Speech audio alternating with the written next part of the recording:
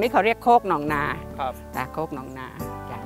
ข้างล่างเป็นหนองข้างบนเป็นโคก อันนี้คุณป้าก็ไปเรียนรู้มาเหมือนกันจ้ะเมื่อก่อนนี้ป้าปลูกพืชเชิงเดียวเนาะสระน้ำตรงนี้ก็ไม่มีณตอนเนี้ยป้าทำเป็นเศรษฐกิจพอเพียง แล้วก็ทฤษฎีใหม่ของในหลวงรัชกาลที่ 9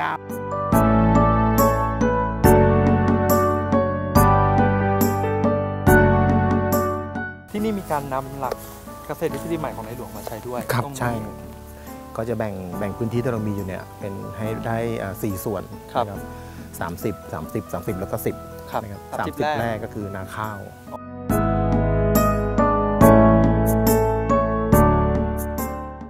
จากพื้นที่ 15 ไร่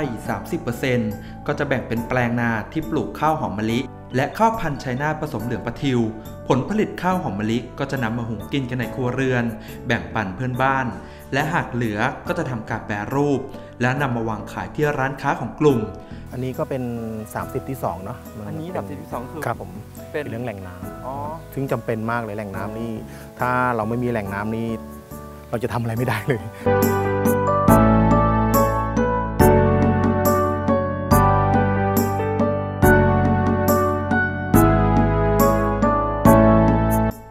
30 ที่ 2 เป็นแหล่งน้ำในการทำเกษตร ก็จะเป็นการขุดสระกักเก็บน้ำไว้ใช้ ในการเพาะปลูก โดยมีความลึกประมาณ 4 เมตร สามารถนำน้ำนี้ไปใช้ในการเกษตรได้ตลอดทั้งปี 80ที่3จะเป็นเรื่องของอ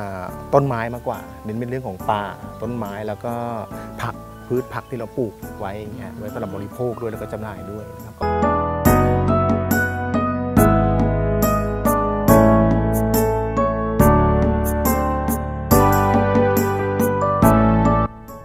30 ที่ 3 ก็จะปลูกไม้ผลและพืชผักสวนครัว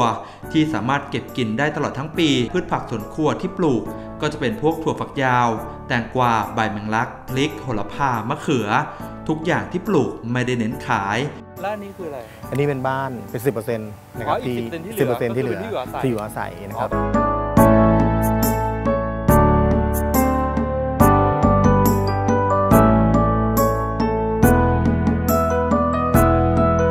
10%สุดท้ายของที่นี่ก็จะเป็นบ้านพักอาศัยของคุณกฤษณะ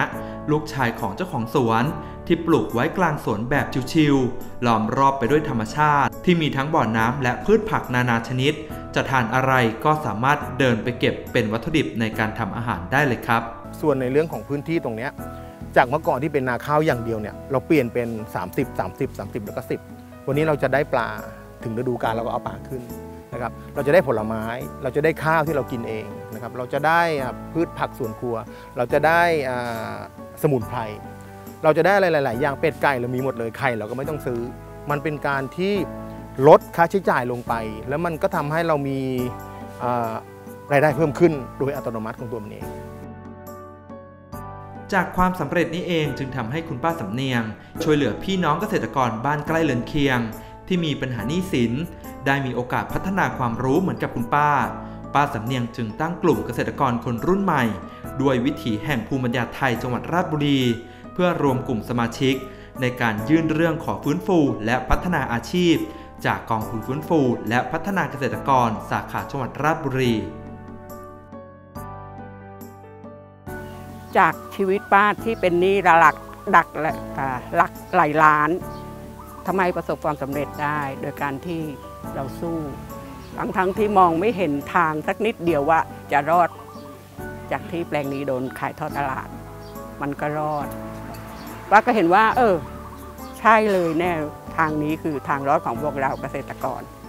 ก็เลยถ่ายทอดวิชา แล้วก็ตั้งศูนย์ขึ้นมา โดยการที่ช่วยเหลือเกษตรกรด้วยกันค่ะก็ภูมิใจ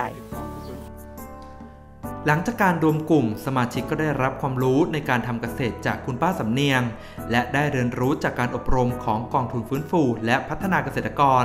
เพื่อนำความรู้ที่ได้ไปพัฒนาอาชีพเกษตรของตัวเองตามความถนัด จนทำให้ปัจจุบันสมาชิกหลายคน